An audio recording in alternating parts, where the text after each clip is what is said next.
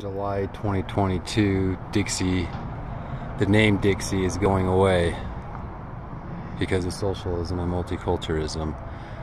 I'm down here at the old Hansen Stadium, which isn't the Hansen Stadium anymore.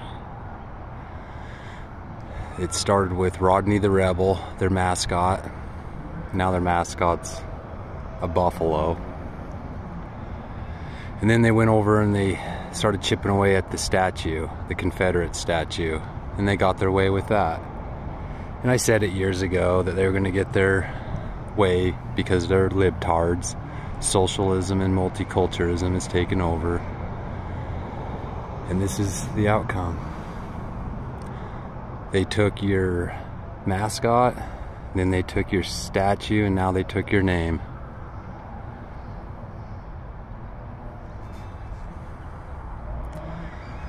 May we never forget from where we come from. St. George, Utah is south of the Mason-Dixie line.